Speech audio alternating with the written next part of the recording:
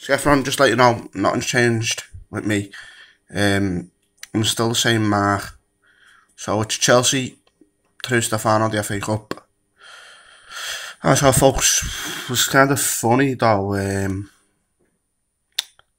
the comments I read, you know, over last night, um, a lot of people saying, no, it's a sin, me, me getting cremated. This, that, and that. Personally, I don't think that. Because one, I'm an atheist. Number two, I don't give a fuck what that fucking knobhead fucking said. Oh, well, like, it's a sin.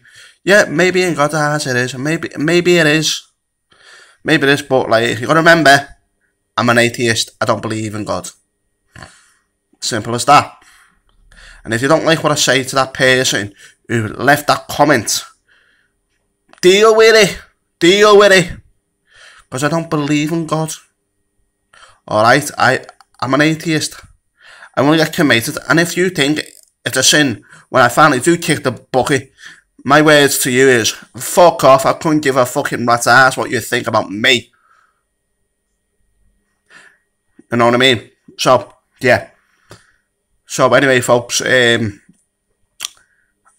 last night I had a nice uh, kebab. Kebab! Yes, kebab! Honestly, I'm not, gonna lie. Been on the Godal Stella.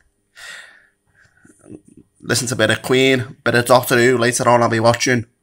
And who knows, folks, for me tonight, might have some chicken, or I might some, or I might have another kebab. Why not? Why not? It's fucking Easter Sunday. Anyone got any plans for uh, tomorrow, being in the bank holiday? You know, let me know in the comments below, folks. See you later, and bye for now.